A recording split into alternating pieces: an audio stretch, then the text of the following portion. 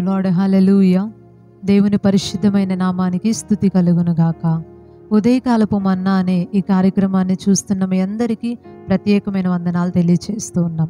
పరిశుద్ధ గ్రంథంలో నుంచి ఒక వాక్య భాగాన్ని మనం ధ్యానం చేసుకుందాం. సామెతల గ్రంథం మూడో అధ్యాయం ఏడు ఎనిమిది వచనాల్ని మనం చదువుకుందాం. నేను జ్ఞానిని కదా అని నీవు అనుకునవద్దు. ఎహోవా ఎందు భయభక్తులు కలిగి చెడుతనమును విడిచిపెట్టుము.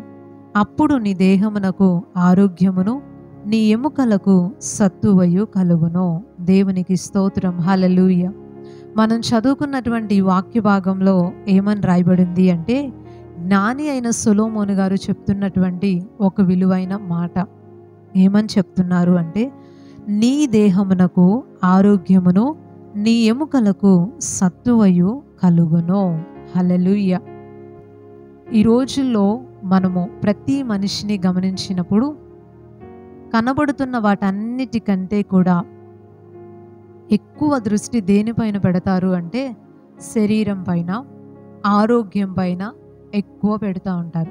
ప్రస్తుతం ఈ జనరేషన్ని మనం ఒకసారి గమనించినట్లయితే ఎక్కువ మంది ప్రజలు శరీరం పైన దృష్టి పెడుతున్నారు బలం కలిగే వాటిపైన దృష్టి పెడుతూ ఉన్నారు. ఎందుకు అంటే ఆరోగ్యంగా ఉండాలి పుష్టిగా ఉండాలి బలంగా ఉండాలి మేము బాగా ప్రజలకి కనబడాలి స్టిఫ్గా ఉండాలి అని చాలామంది ప్రజలు వారి శరీరాలకి చక్కగా జిమ్ చేసుకుంటాం. లేకపోతే బలం కలిగించేటటువంటి ఆహారాల్ని తీసుకుంటాం. ముందుకి కొనసాగిపోతూ ఉన్నారు. బలంగా ఉండాలి ఆరోగ్యంగా ఉండాలి ఎక్కువ కాలం బ్రతకాలి అని. కానీ పరిశుద్ధ గ్రంథం తెలియచేస్తున్న ఒక విలువైన మాట ఏంటి అంటే నీ దేహానికి ఆరోగ్యం కలుగుతుంది నీ ఎముకలకి సత్తువ కలుగుతుంది అని చెప్తున్నాడు జ్ఞాని అయిన సులోమోను. హలలుయ ఇక్కడ మనం చదువుకున్న ఈ వాక్యంలో ఈ రోజుల్లో మనం ఏదైతే చూస్తున్నామో అని ఇప్పుడు మాట్లాడుకున్నామో అది చేస్తే మీకు ఆరోగ్యం కలిగిద్ది అలా బలమైన ఆహారం తింటే మీ ఎముకలకి బలం కలుగుతుంది అని ఇక్కడ సులోమోన్ గారు చెప్పలేదు. అలా అని అవన్నీ చెయ్యొద్దు అని నేను అనట్లేదు. అవన్నీ కూడా మనకి ఉపయోగకరం మనం చెయ్యాలి. కానీ వాటి వలనే ఆరోగ్యం అనేది కలగదు. వాటి వలనే ఎముకలకి బలం అనేది రాదు. అలాంటివి చేసిన చాలామంది యమాయమ్మీలు కూడా ఈ రోజుల్లో మన మధ్య లేకుండా ఉండటం అనేది మనం చూస్తున్నాం.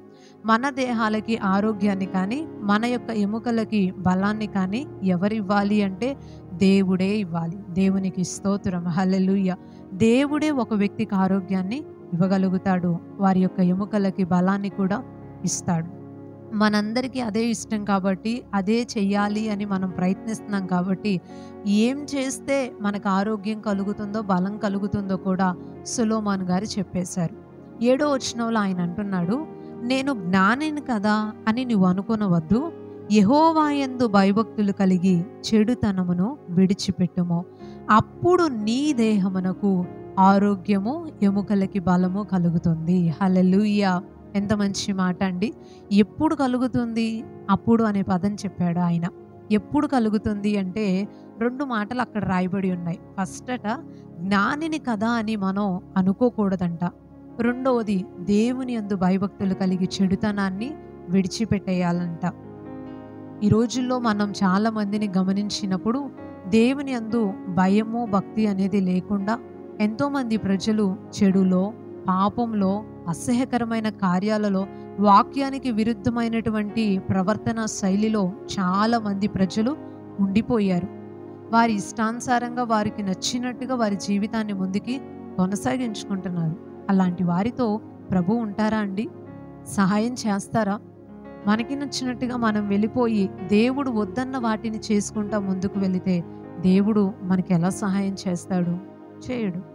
కానీ ఆయన ఆరోగ్యం ఇవ్వాలి అంటే బలాన్ని ఇవ్వాలి అంటే ఎక్కువ కాలం మనం బ్రతికి ఉండాలి అని అంటే మనము దేవుని అందు భయభక్తులు కలిగి చెడుని విడిచిపెట్టాలి. ఆ మాట చెప్తానికి ముందు ఒక పదం సొలోమోన్ గారు అన్నారు నేను జ్ఞానిని కదా అని నీవు అనుకోవద్దు ఇలా చెయ్యి అని చెప్పారు.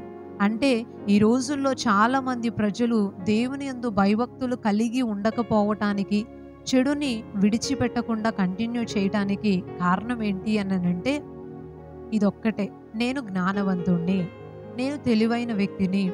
నేను ఏదైనా చేయగలను. ఎలా అయినా నా జీవితాన్ని కాపాడుకోగలను.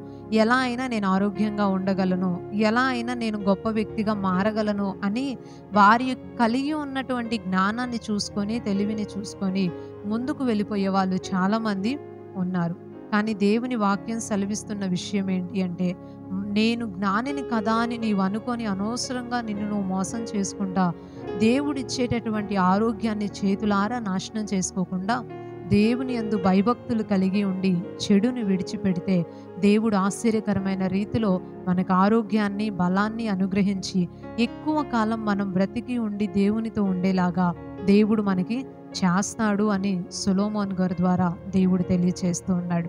ఈ ఉదయకాల సమయం ఈ మాటలు వింటున్నటువంటి మీకు ఒక మంచి మాటను తెలియచేయాలి అనుకుంటున్నాను. దేవుడు ఆరోగ్యాన్ని ఇచ్చే దేవుడు బలాన్ని ఇచ్చే దేవుడు సహాయపడి ఎక్కువ కాలం బ్రతికి ఉండేలాగా ఆయుష్ను పెంచేటటువంటి దేవుడు. అందుకే ఇదే సామెతల గ్రంథంలో రాయబడి ఉంది నా వలన నీకు దీర్ఘాయువు కలుగుతుంది నీవు జీవించే సంవత్సరాలు అధికమవుతాయి అని. దేవుని వలన తప్ప మనం సొంతంగా ఏం చేసుకున్నా సరే మన ఆరోగ్యాన్ని కాపాడుకోగలిగిన శక్తి అనేది ఒక మనిషికి ఎప్పటికీ ఉండదు. ఎప్పటికీ ఉండదు. ఏదున్నా మన ప్రయత్నాలే తప్ప కంప్లీట్గా అదే మన ఆరోగ్యం నిలబడటానికి కారణం మాత్రం కానే కాదు. దేవుడే మన కారణం. దేవునికి స్తోత్రం. హల్లెలుయ. ఆయనే మనకు అన్ని సహాయం చేస్తాడు. సో మనం ఏం చేయాలి అంటే దేవుని ఎందు భయభక్తులు కలిగి చెడుని విడిచిపెట్టి దేవునికి దగ్గరగా ఉంటా మనం నడుచుకోవాలి. జ్ఞానంగా ఒక వ్యక్తి నడుచుకుంటున్నాడంటే అర్థం ఏంటి అంటే ఇక్కడ ఏం రాస్తుందో ఆ విషయాన్ని తెలుసుకొని వాక్యానుసారంగా వారి జీవితాన్ని మార్చుకున్న వ్యక్తే నిజమైన జ్ఞానం కలిగిన వ్యక్తి. సో నేను ఒక మాట అంటాను. మన జీవితాల్లో దేవుడు మనకు అన్ని విషయాల్లో హెల్ప్ చేస్తాడు. సహాయపడాలి అంటే దేవుని యందు భయభక్తులు కలిగి ఉందాం. చెడుని విడిచిపెట్టేద్దాం. దేవుని ఇష్టానుసారంగా మనం నడుచుకోవడానికి అడుగులు ముందుకు వేస్తే తప్పకుండా దేవుడు మనకెంతో సహాయం చేస్తాడు. మంచి ఆరోగ్యాన్ని ఇస్తాడు బలాన్ని ఇస్తాడు ఎక్కువ కాలం బ్రతికి ఉండేలాగా దేవుడు చేస్తాడు. అన్ని రకాల ఆశీర్వాదాలు అక్కడ మనకి ఉంటాయి. ఒక వ్యక్తి రోగంతో బలహీనతలతో ఇబ్బంది పడతా జీవితాన్ని తొందరగా ముగించుకుంటా ఇలాంటివన్నీ చేయడం అనేది వారికి ఎంతో కష్టంగా ఉంటుంది వారి కుటుంబస్తులకి ఎంతో ఇబ్బందికరంగా ఉంటుంది. తర్వాత కూడా చాలా బాధని మిగులుస్తుంది కదా. వీటన్నిటిని బట్టి ఆలోచిస్తే ఆరోగ్యం అనేది ఎంతో అవసరం కదా. అది దేవుడిస్తానంటున్నాడు సహాయపడతానంటున్నాడు. అలాంటి దేవుని యందు భయభక్తులు కలిగి చెడుని విడిచిపెట్టి ఆయన ఇష్టానుసారంగా మనం ఎందుకు నడుచుకోకూడదు? ఒకసారి నడుచుకొని చూద్దాం. దేవుడిచ్చేటటువంటి ఆరోగ్యాన్ని మనందరం కూడా పొందుకుందాం. దేవుడి కొన్ని మాటలు దీవించినగాక. ఆమె చిన్న ప్రార్థన చేసుకుందాం.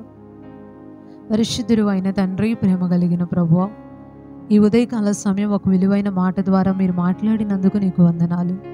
మీరు ఆరోగ్యాన్ని ఇచ్చే దేవుడు అని బలాన్ని అనుగ్రహించే దేవుడు అని మీ అందు భయభక్తులు కలిగి చెడును విడి విడిచిపెడితే చాలు.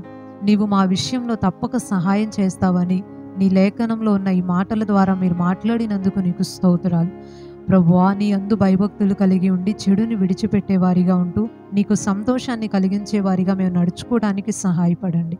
ముందున్న మా జీవితాలన్నీ కూడా మీరు ఆశీర్వదించి ఆరోగ్యాన్ని ఇచ్చి మీరే ముందుకు నడిపించి సహాయం చేయమని వేడుకుంటూ పరిశుధాత్మ తండ్రి ఉదయకాల సమయం పనులకు వెళ్తున్న ప్రతి ఒక్కరికి మీరు తోడుగా ఉండి సహాయం చేయమని ప్రార్థిస్తూ వారి ప్రయాణాలలో వారి యొక్క పనుల దగ్గర పిల్లల చదువుల్లో కాలేజీలకు వెళ్ళేటప్పుడు వారి యొక్క రాకపోకల్లో అన్ని విషయాల్లో నీ హస్తాన్ని చాపి సహాయం చేయమని ప్రార్థిస్తూ అందరినీ దీవించి నీ ద్వారా కలిగే అన్ని ఆశీర్వాదాలు అనుగ్రహించమని మొరపెట్టుకుంటూ నజరేయుడును శక్తి కలిగిన యేసుక్రీస్తు వారి శ్రేష్టమైనటువంటి నామంలో ఈ ప్రార్థన మనవులన్నీ అడిగి వేడుకుంటున్నాం. పరమ తండ్రి.